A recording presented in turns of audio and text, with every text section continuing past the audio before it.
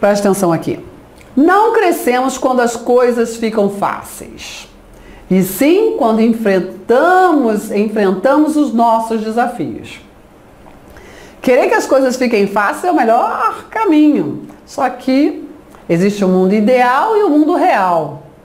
E aí, qual o mundo que você prefere viver?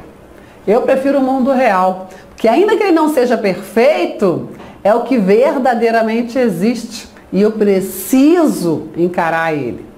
Então, assim, quando tudo fica fácil, é quando você já passou por obstáculos. Tem uma hora que fica fácil.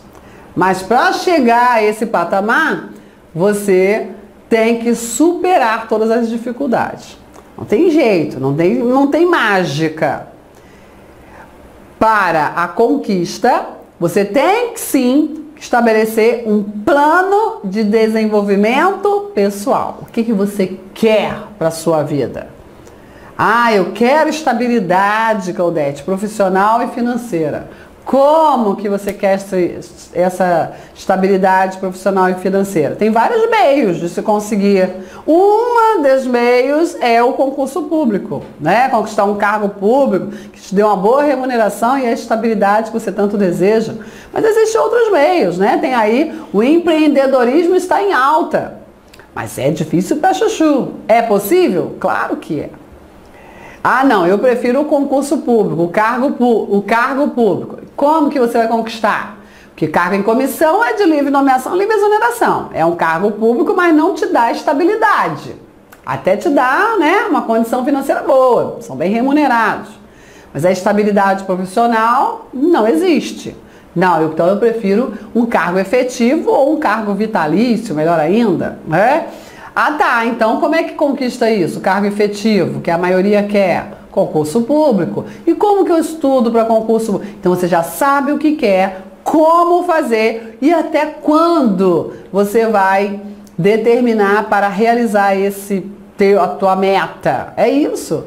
Que meta é sonho com data definida. Encarando todos os desafios, sabendo que não vai ser fácil. Não, não vai ser fácil. Mas você vai conseguir encarar, se superar e crescer. É. E aí, pega o último edital, analisa, né, quais são as matérias cobradas, estabelece um plano de desenvolvimento é do estudante, um PDE, e aí, a partir desse plano de desenvolvimento de estudo, você vai fazer o quê? Você vai verificar quais as matérias que são mais básicas, quais são as matérias que são, que são mais desafiadoras, quando, quando é que você vai fazer a revisão e assim você vai traçar o, tu, o teu, teu caminho de vitória, ok? Encarando todos os desafios, todas as tempestades. Só depende de você. É isso. Então tô esperando o quê? Bora ser super! Tchau, tchau!